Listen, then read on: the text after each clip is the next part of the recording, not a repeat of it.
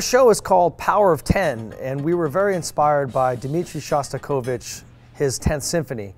And obviously, it, it, was kind of funny because the piece of music came first, as it often does here at Cadets. We got really, really excited about this music. It's very aggressive.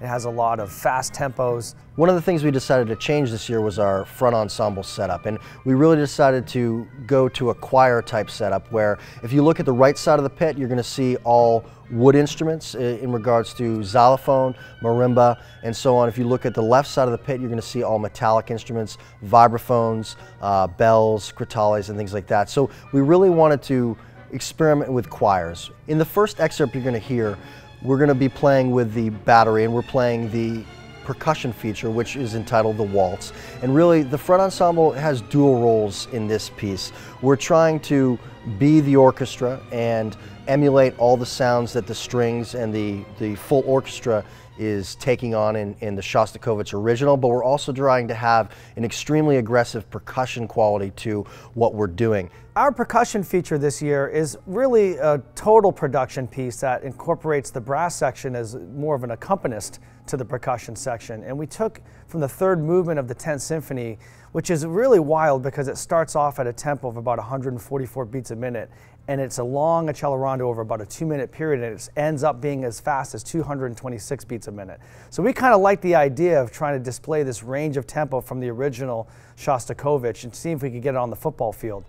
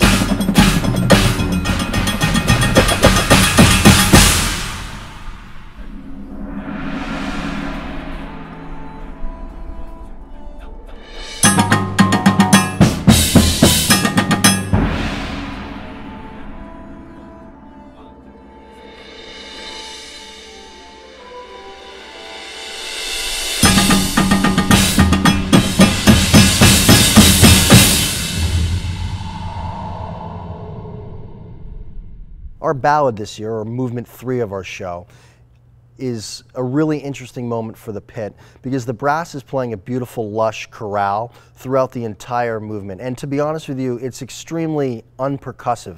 And it was really an open book as far as our ability to write something for the front ensemble that would accompany the brass but didn't necessarily have to be attached to their ideas. And one of the things we tried to do with our setup um, being choirs, uh, woods on the right, metallics on the left, we actually decided to move the entire front ensemble over to the right side of the pit. So we, the entire front ensemble begins um, with the wooden choir and then it's a slow migration throughout the entire movement. We start dropping folks off the wooden side and they start migrating to the metallic side and eventually by the end of the ballad, two minutes later, we're all ending up on metallic instruments on the left side of the pit. So it was really just trying to put a unique concept that would implement the strengths of our setup um, and our instrumentation and try to uh, give it a unique flavor to what the brass were uh, playing.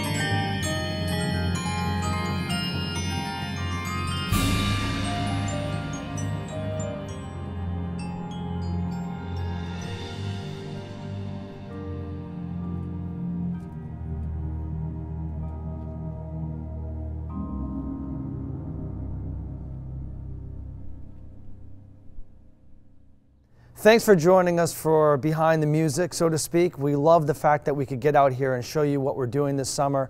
Download our music, check out what we're doing, and we can't wait to see you down the road.